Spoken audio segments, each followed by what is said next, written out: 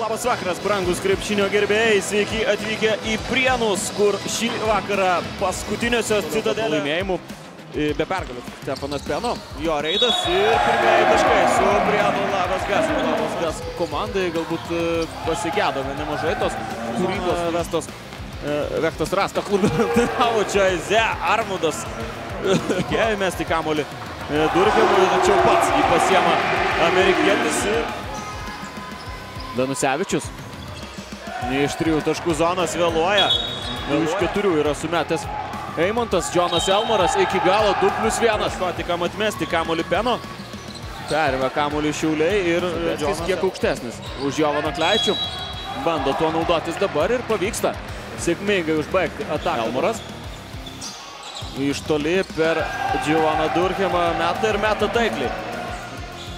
Elmaras meta ir meta taikliai Jonathanas Elmaras užsikūrė. Ir per pirmus du kėlinius tiesa tokios pražangos e, nėra e, reikalingos. Pasirodė aikštelėje, bet Staniulis jau ruošiasi žengti ant parketo. Pataiko Prienų labas gas. Čia greitoje atakoje Nemanija Besbradicas. Du taškai ir taikymas. Čia paskutinioji. Trečiojo ketvirčio minutė įkrenta kamuolys į krapščių 2 plus 1. Prienų labas gas tolimų metimų statistika. O štai Besbradica dar vieną tritaškį įsūdo. Dabar Besbradica turi stabdyti Džiuvaną Durkemą.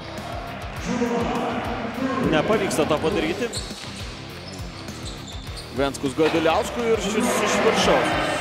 Įgrų. Proga ir dabar. Šiek tiek pasirodė. Serija plus 28 taškais laimi Antanas Sireika ir jo komanda. Bei pasiima paskutinį kelią.